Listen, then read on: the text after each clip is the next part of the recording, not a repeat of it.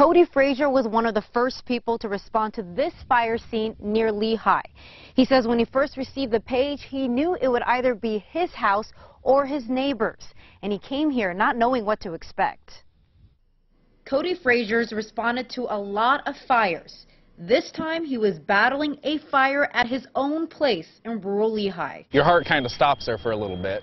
It just, you don't know what to do next. He went home for the last time around 3.30 Monday afternoon. You're in disbelief. I tried to block it out for the most part that it was my own house. Fellow Lehigh firefighter Jeff Hewen was on scene moments later. His trailer house is, is fully engulfed.